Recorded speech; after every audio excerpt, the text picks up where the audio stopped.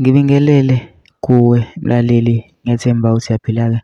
Mina ngizocela kuwe-ke laphana ukuthi-ke uma ngabe usamusha-ke kuleli khasi-ke leli-ke usixhase-ke lapho ucindezeleke ibhathini u-subscribe, subscribe nje.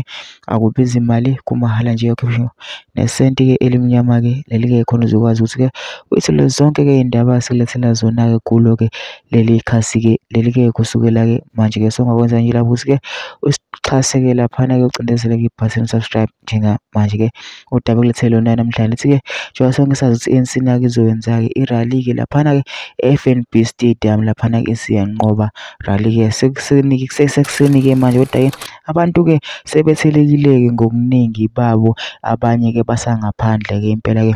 Uyabona ukuthi-ke engathi-ke le nkundla-ke isazogcwala-ke uma ubheka isibalo sabantu asebengaphakathi enkundleni nabaseza abangaphandle-ke. Abantu-ke sebeyazibuza ukuthi impela-ke ngabe bazokwazi yini ukuyivimba-ke le-ANC ukubonakala ukuthi engathi-ke abantu-ke basayithanda-ke baningi-ke. Manje konke sekuhleliwe-ke nabaculi-ke abaningi-ke abaqashiwe-ke laphana-ke okubalwa osaziwayo impela-ke abadume ngempela-ke laphana-ke esifundazweni-ke sase-South Africa-ke kanye ne-Picker-ke konke sekuhleliwe sekumi ngomumo. Sekulindele ukuthi-ke ufike u-President Ramaphosa-ke afike athule inkulumo yakhe kubantu-ke be-ANC na-ke. Lena-ke i-rally-ke yokugcina ku-ANC na-ke emva lapho-ke bazobe sebebheke kukhetho-ke mhlaka twenty-nine May-ke laphana kuzobe khona-ke ukhetho kuvotwa-ke amaqembu-ke phela-ke ahlukahlukene. Mina ngizocela ukuba laphana usungene ema-comment section-ke ufushe umbono wakho ngalolu daba-ke lolu-ke usicinze nebhathini u-subscribe nje akubizi imali kumahhala nje.